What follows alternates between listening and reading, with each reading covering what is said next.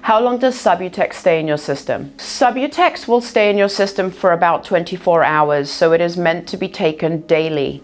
However, if Subutex were to be measured in your bloodstream, in a healthy person, it would typically leave the body within about five to eight days. But in somebody who has high liver enzymes or problems with their liver, the Subutex may not leave the body for anywhere from seven to 14 days.